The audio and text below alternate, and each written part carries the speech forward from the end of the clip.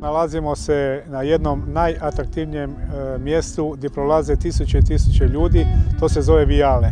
Mi imamo tu štandove koje hrane mnoge familije u Poreću i mi živimo od toga i mislim da nema toga, ne znam kako bismo mogli preživljavati. Pa ja sam tu doma i šećem se po ovoj rivi skoro svakoga dana.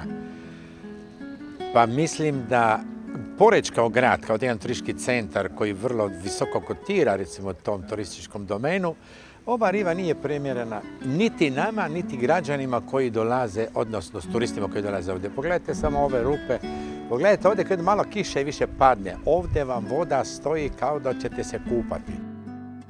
Mi možemo mesti tjerati tu vodu, ona sa ovog škalina ide na onaj škalin dole i uglavnom u biti ta voda bude tu po nekoliko dana.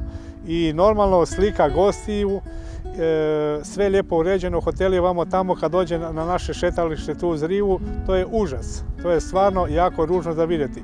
Mi volimo gledati, pogotovo ovako u mojim godinama malo sjedi kad prođu nam lijepo ženske koji imaju lijepo obline i tako dalje, u štiklama, minićima i onda ih pada i onda ih mi moramo dizati. Mislim, meni nije teško je dignuti, nek pada ona još koji puta, ali ovaj, bilo bi lijepo da se to napravi.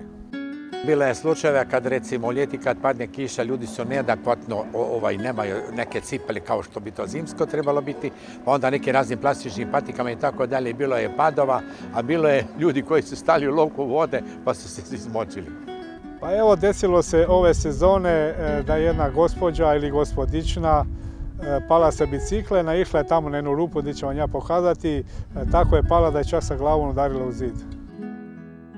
Znači da taj naš grad bi trebalo ipak u tom smislu, bar ovaj dio rive srediti kako Bog zapovjeda da ti turisti baš imaju jednu kompletnu sliku u našem gradu koji je inače dobro uređen što se tiče ostalih drugih mjesta.